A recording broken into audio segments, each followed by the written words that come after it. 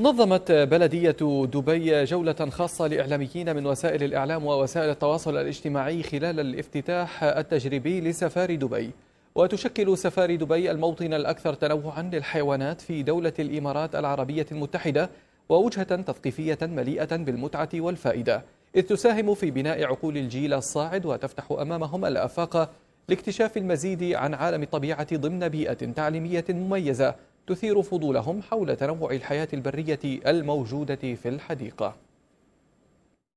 طبعا حديقة سفاري دبي هي من الحدائق المميزة عن مستوى إمارة دبي وعلى دولة الإمارات ونحن نطمع أن تكون أحد الحدائق المميزة على مستوى العالم. هذا هدف الرئيسي وهي حسب توجيهات صاحب سمو الشيخ محمد بن راشد آل مكتوم حفظه الله بأن دائما مشاريع إمارة دبي ودولة الإمارات العربية المتحدة أنها تكون دائما في المقدمة. لذلك حرصنا من خلال إنشاء هذا المشروع أن نقدم الكثير اللي يمكن يكون مختلف عن أي حديقه عادية. لذلك حرصنا مثلا نعطي النماذج المعمارية. اليوم نحن في هذا المبنى معماري متميز.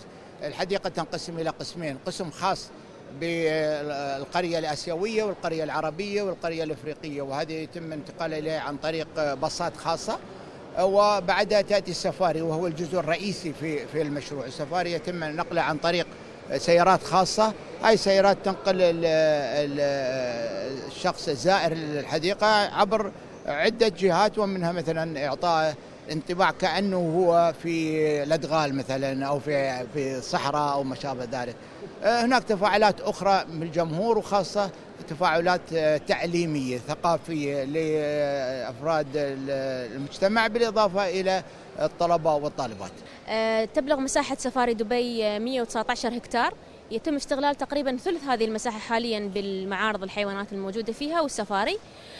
تتنوع الحيوانات فيها بين الحيوانات الأسيوية والعربية والإفريقية.